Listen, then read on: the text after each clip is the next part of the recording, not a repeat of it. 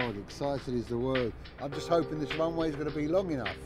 I mean, we're getting halfway there, going to race the plane, and we're going to take off all at the same time. We hope.